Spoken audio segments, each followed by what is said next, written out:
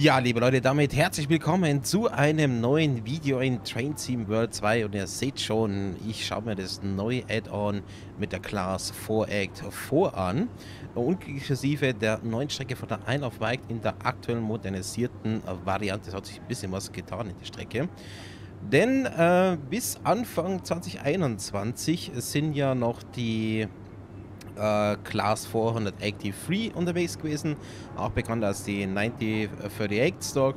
Und äh, ja, Anfang Januar ging sie außer Betrieb, da waren sie schon knapp über 80 Jahre alt und es war mal Zeit für was Neues.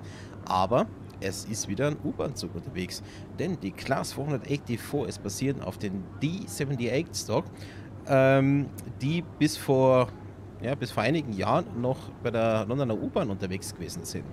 Viva Rail hat dann, das muss ich mal kurz nachschauen, auf meinen Schulzettel, das waren 226 D-Stock-Trains gekauft und bauen die jetzt um, bzw. modernisiert. Die gibt es in verschiedenen Varianten. Einerseits hier, äh, wie wir jetzt gerade hier sehen, als Third Rail, dann gibt es als äh, Diesel-Batterielok, äh, Diesel elektrisch und Komplettbatterie, wenn ich jetzt nicht falsch bin. Momentan sind 15, 13, 14, 15 Züge unterwegs. Mehr soll noch kommen. Operators sind unter anderem Transport for Wales, äh, London North West Railway, Railway Development Corporation, Viva Rail selber mit ihrem Prototyp und hat hier die Island Line. Okay, ich würde sagen, schauen wir uns mal den modernisierten D-Stock Train an. Wir fangen hier mit dem Führerstand an. Man sieht so nur das alte Grunddesign, aber es ist halt komplett modernisiert. Es ist hier alles de facto neu gemacht, sondern wir haben aktuelle Zugsicherungssysteme mit TPWS und Co. Sieht wirklich schick aus. Die Panels für die Türen und auch für den Hilfsstrom. Und dann schauen wir mal hier Passagierbereich rein. Ah, da sind schon einige Leute hier. Es ist halt fast nicht mehr zu erkennen, der alte D78 so. Natürlich ein bisschen Werbung hier. Und auch der, der Streckenplan ist soweit authentisch, wurde mir gesagt. Da sogar auch die Werbung mit unserem Netzwerk. Dort auch Werbung für die Steam Railway, die es ja hier gibt auf der Insel. Ah, ist schon cool. Natürlich barrierefrei. Können wir hier mal aufmachen.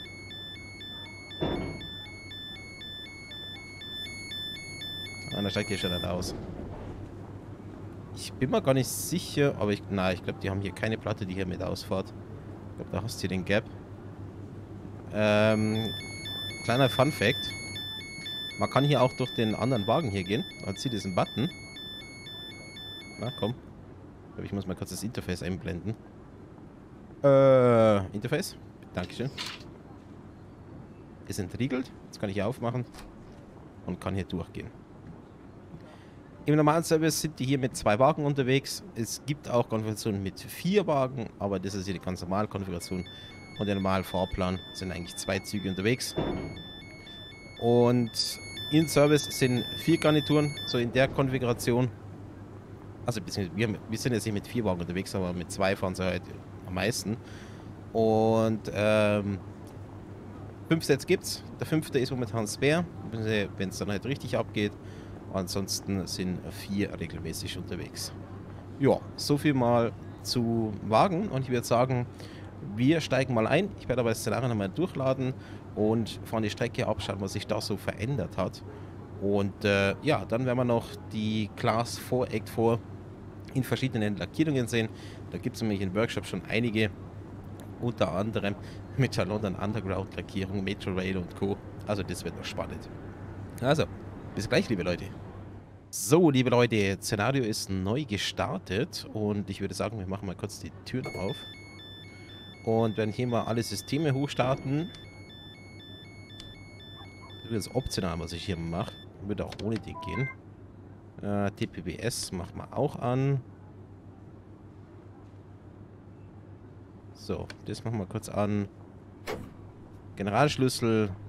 Hier mal kurz nach vorne. General Fault ist da aus. Ähm, Lichter. Ist okay. Ist okay. Cool. Dann Innenraumbeleuchtung. Ah, Moment mal. Falsch. Widerstandstür, was mache ich denn? Äh, Fahrgastraumbeleuchtung. Kurz kontrollieren.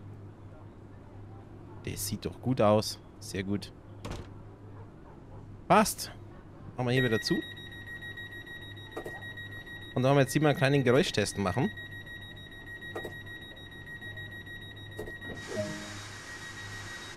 So, wir werden erst erstmal...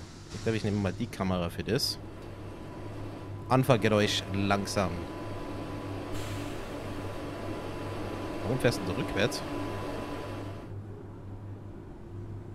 Kannst du vorwärts fahren mit dir? Ach so, weil DRA und hat. Entschuldigung, mein Fehler.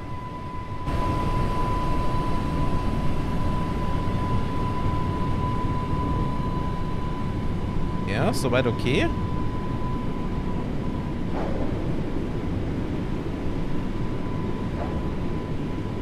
Dann machen wir langsame Beschleunigung auf 45 Meilen pro Stunde.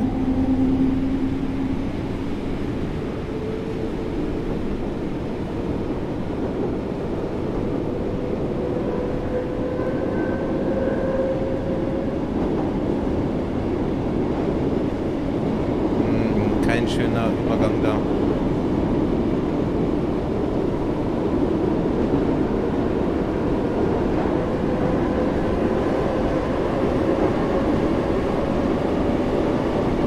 Ja, also die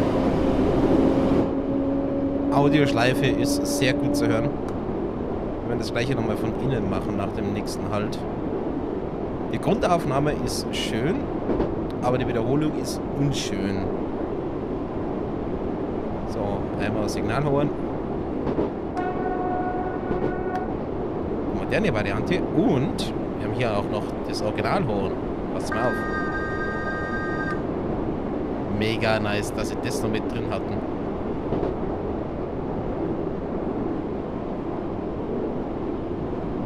So, der Bremse erstmal elektrisch bis zu einer gewissen Geschwindigkeit, außer wir machen eine Notbremse. Und dann mechanisch.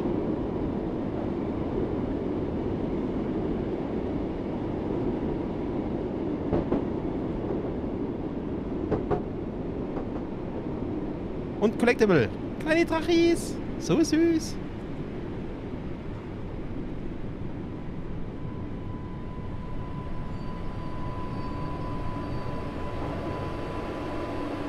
So, da machen wir mal kurz die Tür wieder auf. Und schauen Sie mal ganz kurz das Collectible an hier. Die sind hier verteilt auf der Strecke. Diese kleine Drachis da. Also, ja gut. Dra ja, gut. Drache. Drache mit Fantasie ist eher so ein Dino. Äh, Dinos.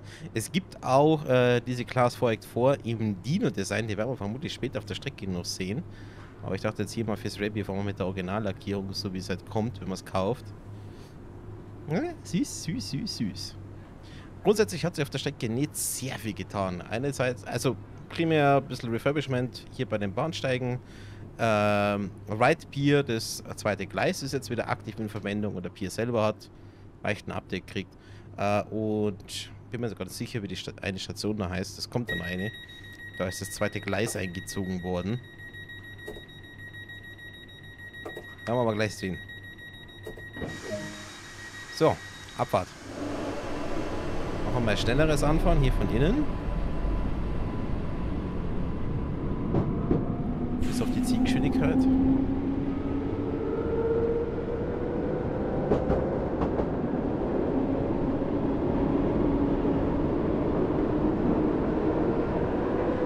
Nee. Wie gesagt, der Grundton ist okay, aber dass die Wiederholungen so klar zu hören sind, das ist echt nicht gut. Also Revit Games, da müsst ihr noch was machen. Der Sound ist nicht okay. Das 3D-Modell ist wirklich schön, wirklich toll gemacht. Aber der Sound, ja, da gibt es Abzug. Und 15 für die Weiche.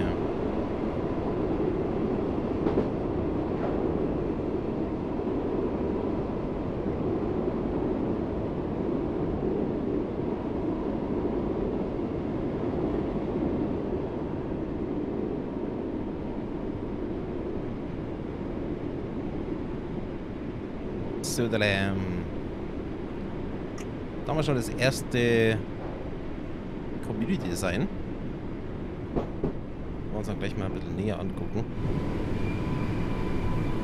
Vielleicht eh sogar so. Weil genug gebremst.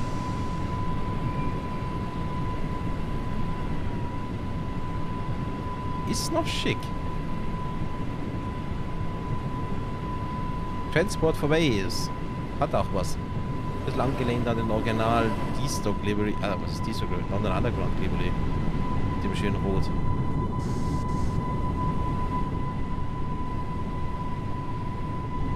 Ah, ich hätte schon ein bisschen schneller reinfahren können. Ist gerade ein bisschen arg langsam. Aber egal, ist ja nur ein Test. So, was ich jetzt mal machen will, ist mal kurz die Notbremse reinhauen. Keinen besonderen Effekt. Also, müsste jetzt engaged sein. Ja, Notbremse. Okay.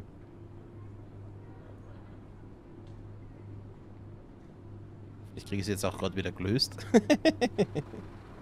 Und wir haben ein rotes Signal. Kommt vermutlich gleich mein Kollege entgegen.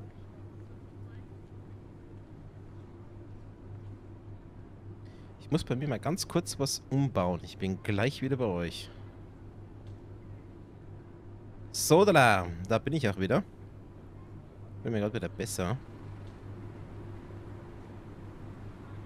So, werden wir hier auf die Freigabe warten. Schauen wir mal, was wir hier noch so alles finden. Ah, da kommt... Da kommt der Vorgänger vorbei. Sind wir noch bis Jänner 2021 gefahren. Oh, das geben wir uns, die Einfahrt. Hä? Oh. Ist jetzt blöd hier. So würdet ihr doch nie in echt dastehen. Außerdem hinter der Linie, bitte. Ja, oder machen wir das von da? Moin, Kollege.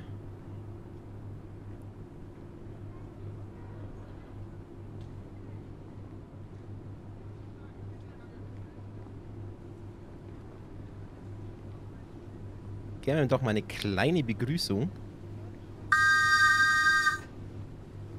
Ah, ich mag die Pfeife. Die ist nice.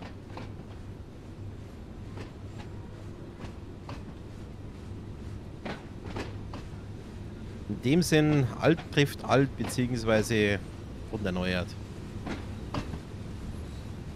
Network äh, Southeast. Jetzt nach wie vor rot.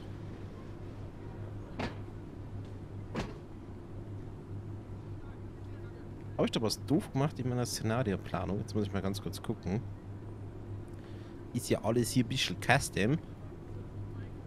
Schauen wir mal ganz kurz. Also eigentlich... Ja, da kommt der andere Kollege hier. Der sollte aber hier halten und mich vorbeilassen. Machen wir ganz kurz die Türen zu.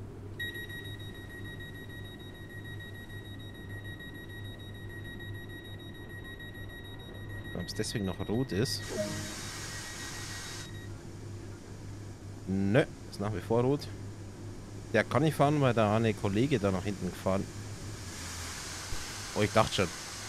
Ich habe für einen Moment gedacht, das wäre hier grün. Okay. Gut. Ich würde sagen, gib dir mal kurz einen kleinen Cut und dann sehen wir uns gleich wieder. Ja, Moment mal. Du fährst? Wie machst denn du das? Okay. Ja, ist unrealistisch, aber... Ach nee, er bleibt da kurz stehen. Also, klar. Liebe Leute, gibt einen kleinen Cut hier. So, da, da wären wir auch wieder. Ich habe mal ganz kurz den Service gelöscht. Und jetzt können wir wieder weiterfahren. Ich möchte noch gern mal einen Hochgeschwindigkeitstest machen, sprich 60 Meilen pro Stunde. Um zu gucken, ob wir dann über 45 noch ein anderes Soundfile haben. Dieser Effekt. Aber das machen wir erst nach dieser Weiche.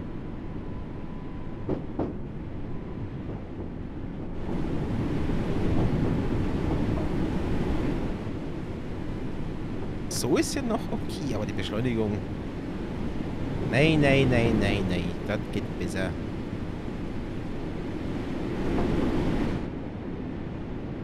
So, gehen wir mal kurz zum Maximum Schmackes.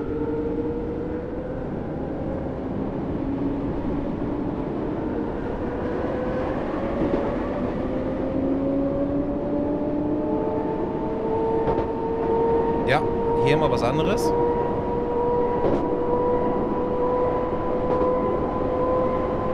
Ja, aber auch hier wieder diese Wiederholung. Ah, nee.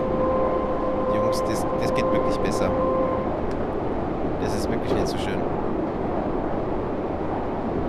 Geräusch auch hier ein bisschen lauter. Sollgeräusch so ist ganz okay.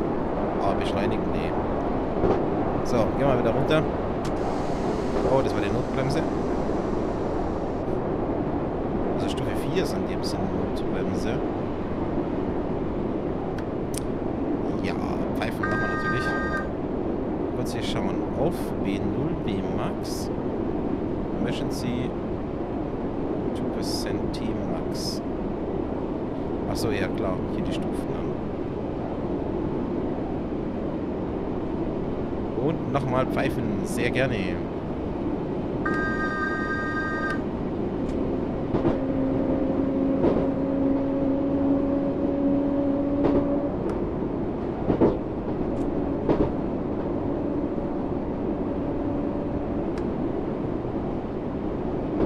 So, jetzt kommen wir dann gleich zum nächsten Bahnhof. Das dürfte auch der sein, wo sie das zweite Gleis eingezogen haben. Mal schon mal wieder runter hier.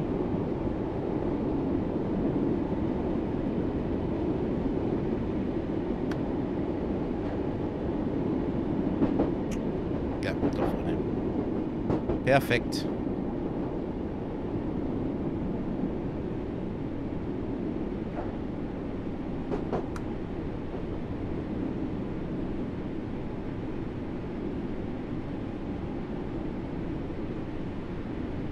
Vater trifft Sohn, die Generationen. Das ist eigentlich eine mega witzige Geschichte, dass sie auf der Isle of Wight diese alten London Underground Rolling Stokes da nutzen.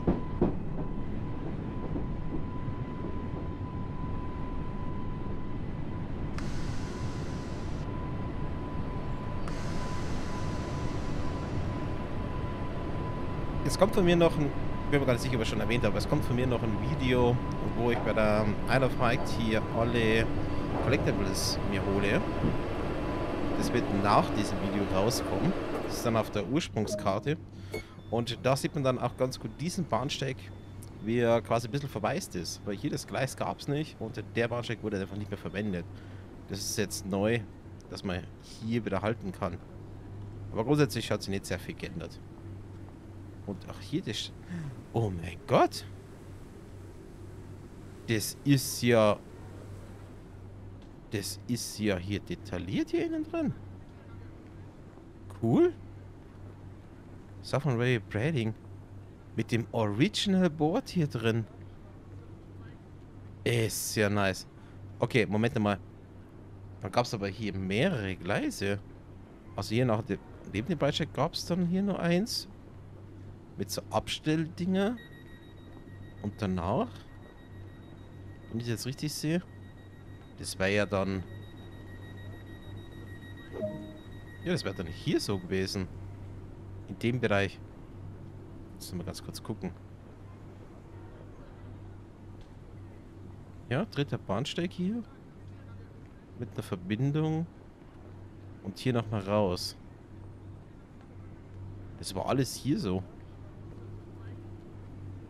Interessant. Okay, das, das, das finde ich jetzt mega cool. Dass man das hier drin sieht. Aber ich denke mal, in echt wird das nicht mehr... Oh mein Gott, hier ist ein Dino Collectible hier drin. Kann ich hier reingehen? Okay, ne, Moment, Leute. Müssen wir ganz kurz unseren Service anhalten. Ähm... Das, glaube ich, war der Button. Open. Halt. Hallo. Ich muss mir jetzt mal ganz kurz das Stellwerk angucken. Da muss ich jetzt rein. Achso, das ist die Rampe dann für die für die Waschen. Oh mein Gott. Wie cool. Ich kann hier reingehen. Dann hole ich mir auch gleich mal dich. Dino-Spielzeuge. ah, ist ja mega geil. Ich muss da mal im Internet nachgucken, ob das wirklich noch angeschlossen ist oder nicht. Gab es mal nicht. Wird vermutlich alles voll elektronisch jetzt hier sein. Hm. Außer der Heritage Trust, der hier auf der Insel unterwegs ist, betreibt es. Nice. Wollen wir kurz schauen. Branch to Main Home 16 und 17. Setzen ihr? Habt da 20, 17. 15, 17, 20 ist gestellt.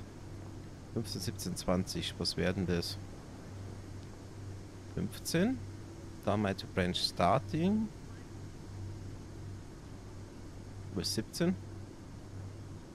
13 11, 20 18, 17. Branch Home. Branch to Main Home. Das wäre 16 und 17. Okay. Also nur zur Erklärung. Ich glaube, das ist, dürfte hier gleich sein wie bei uns. Du hast hier quasi die, die Fahrwege, die du legst. Und hast ja unten die, die Weichen, die du dafür legen musst mit der Nummerierung. Und die hier, das sind die Weichen.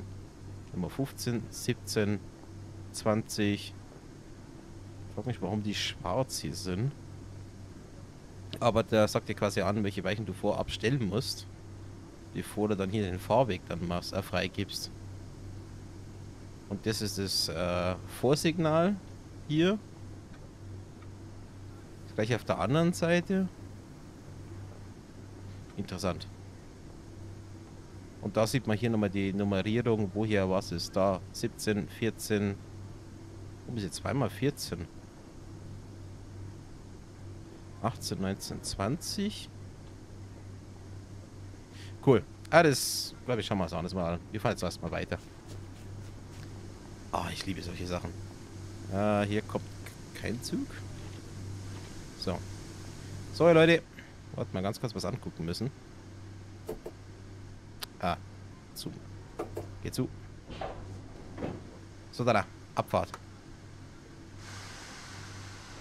Aber dieses Dauerzischen kann doch auch nicht normal sein, oder?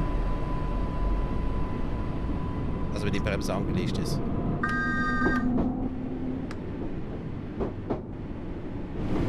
Und hier auf der Seite gab es dann... Ich muss mal historische Aufnahmen angucken von der Strecke hier. Ich meine, das Streckennetz auf der Isle of Wight war früher riesig. Das, was ja jetzt noch da ist, das ist ja nur so ein Mini-Überbleibsel. Wenn ich da doch wenn ich da noch das YouTube-Video finde, wo sie da auf die History von der Isle of Wight eingehen, gerade bezüglich der Eisenbahn, dann werde ich das verlinken. Schaut euch das unbedingt an. Ha, vermutlich, vermutlich habe ich das in dem Video schon gesagt und reingetan von der Isle of Wight mit den ganzen äh, Collectibles. Schaue ich erstmal da zuerst rein. äh, doppelt gemobbelt.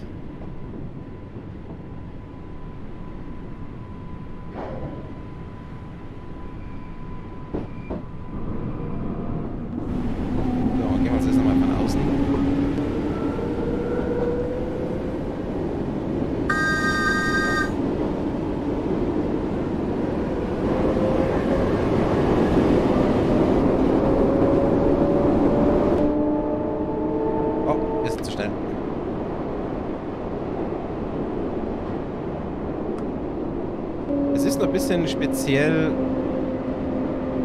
die Lok äh, bzw. den Triebwagen hier mit Rail Driver zu fahren, weil der Nullpunkt ist super klein. Du bist sofort drin, wieder im Beschleunigen bzw. beim Bremsen.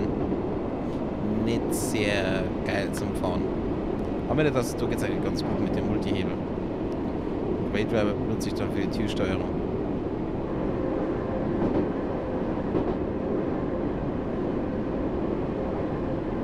So dran. White St. John's Road, Bahnsteig 1, nächster Halt. Vorletzter Halt vor dem Pier. Ne, Moment. Vorletzter, letzter Halt vor dem Pier, so. Ich bin mir nicht sicher, aber ich glaube auch diese Masten sind hier neu. Ich kann mich nicht daran erinnern, dass es bei der Urversion mit dabei gewesen.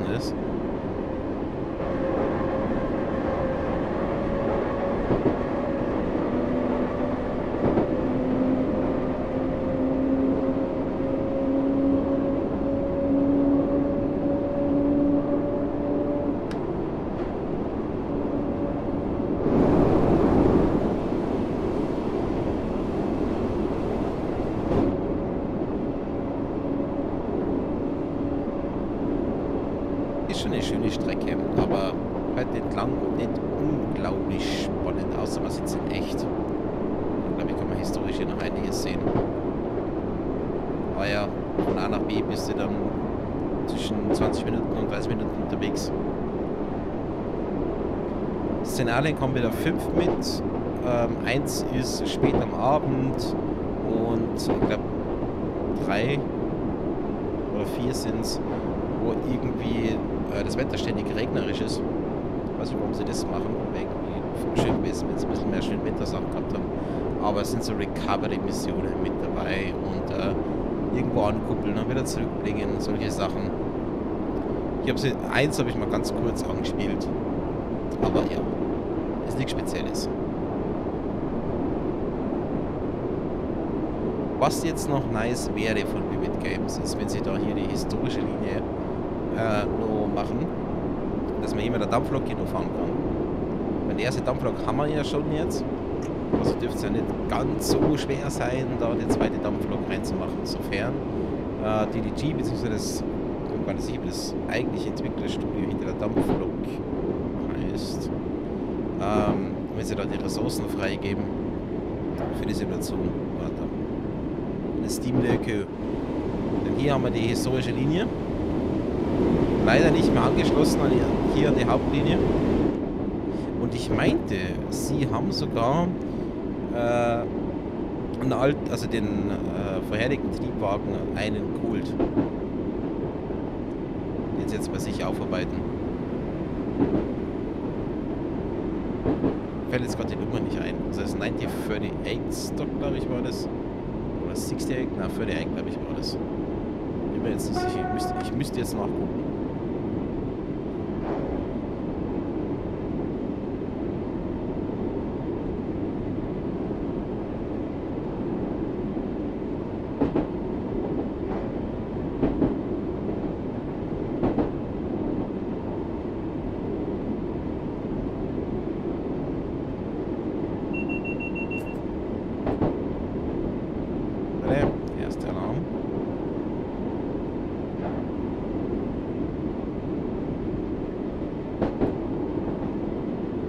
Und da haben wir das Rangiergleis fürs Depot.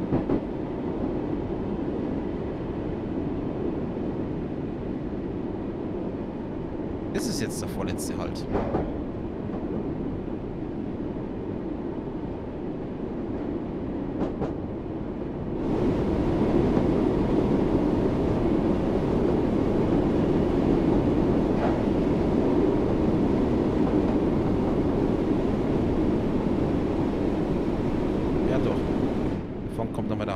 kurz vor dem Pier und dann auf dem Pier.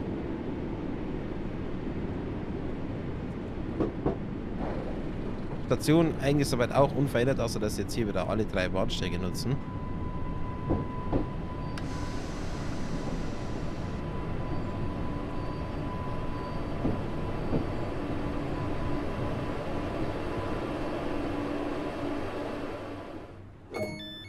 Wunderbar. Und dann gehen wir mal ganz kurz nach draußen. Also den Bahnsteig werden sie vermutlich nutzen, wenn sie in der Früh hier losfahren. Ansonsten halt die zwei hier primär. Äh, beziehungsweise es gibt Services, die von, von der Richtung hier reinfahren und dann auf den zweiten Bahnsteig beim Pier hier fahren. Denn von dem Gleis kommst du nicht auf das. Die einzige Weiche, die später kommt, die geht dann so rum. Werden wir gleich sehen.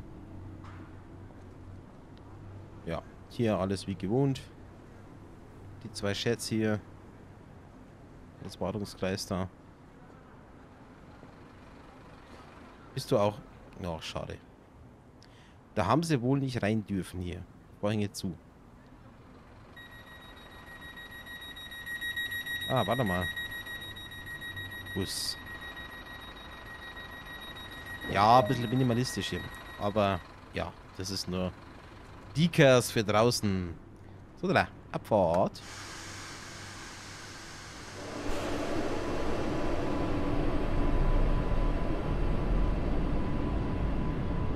Bin ich mal gespannt auf die äh, Tunnel Clearance. Was wir jetzt hier mit den D78 Stock haben.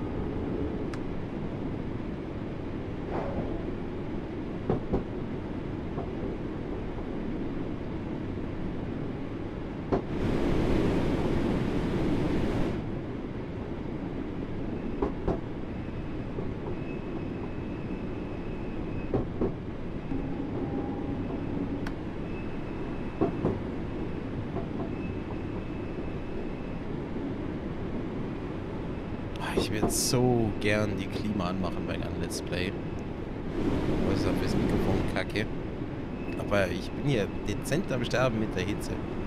Das ist echt furchtbar. Ich hätte gern wieder Winter.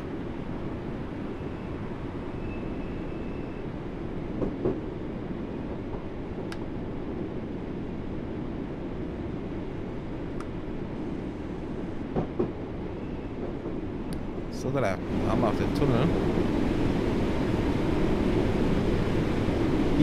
Wie viel Luft hat es da noch nach oben?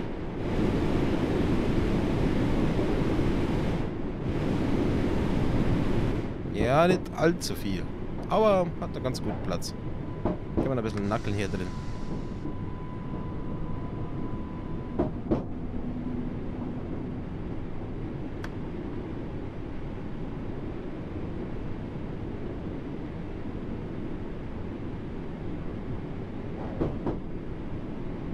Kann ich eigentlich lichttechnisch ein bisschen... Naja, das ist schon hier drin. Ja, Shorty. Mal ganz kurz umschalten. Signallichter, Schluss, Nacht. Nee. Ja, das ist das Maximale, was lichttechnisch hier geht.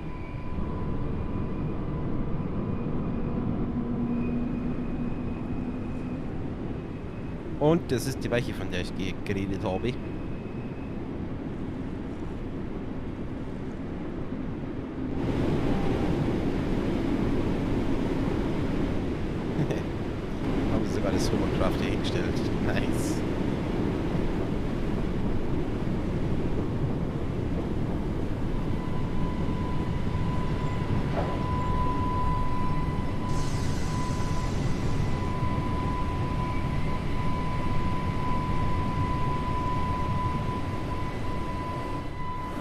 Cool. Dann äh, bei Kamera. Wie gesagt, das Gleis wird jetzt wieder befahren. Der zweite Bahnsteig hier ist nach wie vor disused, so wie es aussieht. Da passiert nichts mehr. Ja, das habe ich sogar noch alt gelassen hier. Ist es hier auf der Seite? Na, auch genauso. Okay. VFP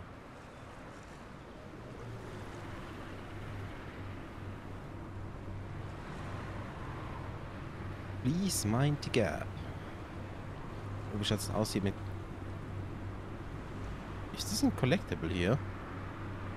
Einfach mal so? Sieht aber schön aus, würde ich mir sofort holen. Mal... Ah, Leute! Gibt es bestimmt wieder was zum Sammeln hier drin. Ah, da ist er ja. Der nächste Dino.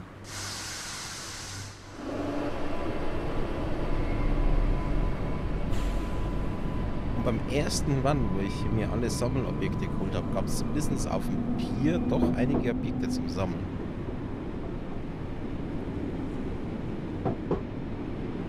Und eins war besonders fies, das ist recht weit draußen auf dem Parkplatz gewesen.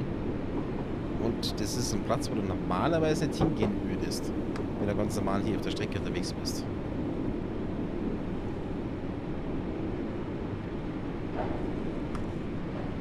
Ich glaube, das war so ein Fotoapparat, der hier ganz bei der Straße gestanden ist.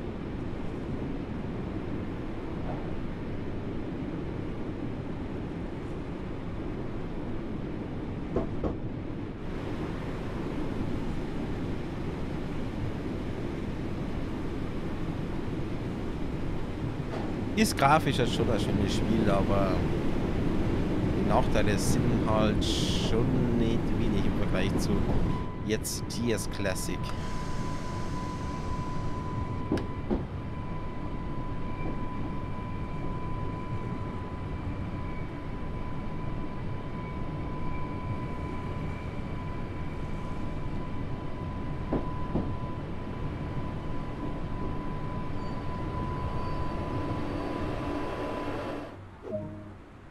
Wunderbar. Ähm, wir schauen uns mal kurz in der freien Kamera hier eine zweite Plattform an. Also die ist jetzt in Use. Ich frage mich noch, warum das hier upgated ist. Aber ja, das war erstmal die, die Isle of Wight und ich würde sagen, es gibt jetzt noch einen ganz kleinen Bonus. Ich glaube, wir fahren jetzt mal eine echte U-Bahn-Strecke mit der Class und dann auch mit London Underground Livery. Schauen, wie das so ist. Also, kleiner Schnitt und bis gleich. So, liebe Leute, da waren wir jetzt hier auf der Bakerloo Line und da haben wir das Original Livery vom D78 Stock mit den Rot, Weiß, Blau und da haben wir hier auf der... Oh, das ist jetzt viel zu viele Leute. Da, Underground Logo. Passt hier nicht wirklich rein, aber schauen wir doch mal, wie das so ist mit dem hier auf einer echten U-Bahn-Strecke zu fahren. Oh, jetzt komme ich nicht mehr rein, oder was? Echt jetzt? Nein. Jetzt bin ich ausgestiegen und komme nicht mehr rein. Ah doch, hier. Nice. Gut, dann machen wir hier mal die Türen zu. Äh, so. Rechts mal kurz freigeben. Und machen hier mal einen Quickstart. Ah. Blöde Fliege im Zimmer.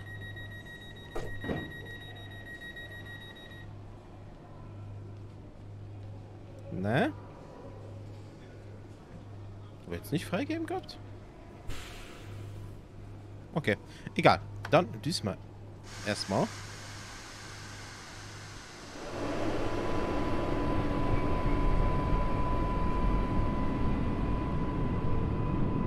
Aber ich glaube, wir sind eigentlich ein bisschen zu groß hier für die Bäckerlulein.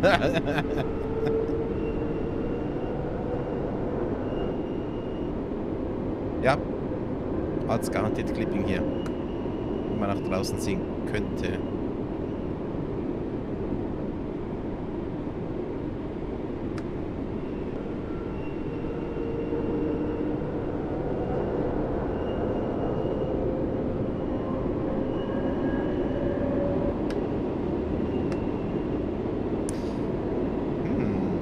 dachte wirklich, die Tunnel werden hier ein bisschen größer. Ich glaube, ich werde mal so stehen bleiben, dass wir so ein bisschen im Tunnel drin stehen. Mal ganz kurz angucken. Einmal Notbremse. Ah, das sind wir vermutlich wieder draußen gefahren. Äh, Moment. Mach mal hier kurz die Tür auf.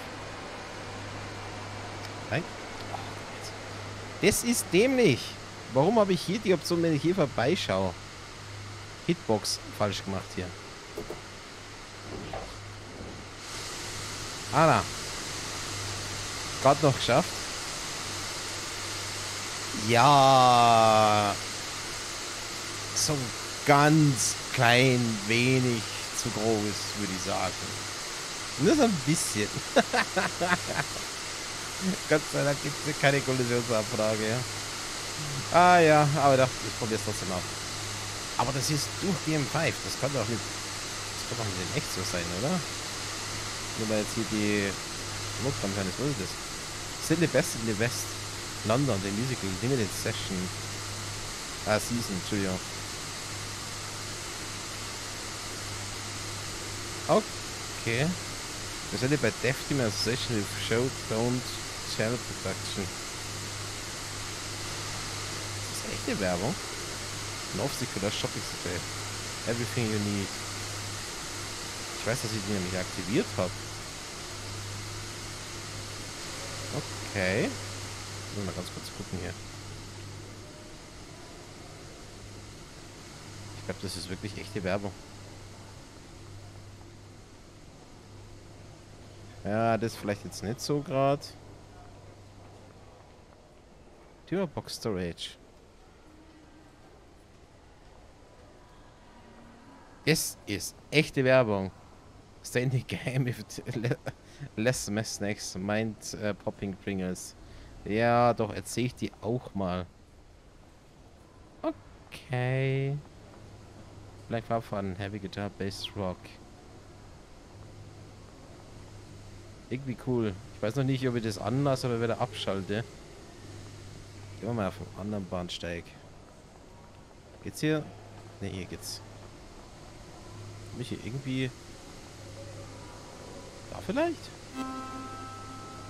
Cool. Habe ich gerade mein Collectible. Ähm... Alpha Code 10, the explosive destroyer for petrol. Lost, Alpha Patrol lost in enemy trailer. Okay. Patched of Lady. A good place to connect. Interesting, was? Double Decker Time Machine 2, Timeless Action Adventure. Okay, das würde ich mir jetzt mal anschauen. Das klingt interessant. Und hier ist der Sound auch wieder mega laut. Nö, also, Jungs, ihr müsst dann ein bisschen arbeiten an der Glas. Was? No Smoking. Aber grundsätzlich okay. Ja, also wenn ihr so U-Bahn-Fan seid, generell von der London Tube, holt euch das, nicht wegen der Strecke. Die Strecke ist jetzt, ja, ist okay, aber es ist halt nichts Neues. Also, wer schon das erste Isle of Wight hat und jetzt der D78-Zug nicht so interessant findet, dann holt euch das nicht, aber ansonsten holt euch das, weil dann habt ihr ja auf der U-Bahn-Strecke ein bisschen Variety. Ihr könnt auch hier zumindest draußen ein bisschen rumfahren, das wäre noch halbwegs realistisch. Zumindest die Endstation, da ist der D78-Zug hier reingefahren. Aber nicht hier in den Tunnel rein. Ja, hoffe euch gefallen. War ein bisschen chaotisch, wie immer bei mir. Und äh, ja, dann bis zum nächsten Mal. Tschüss.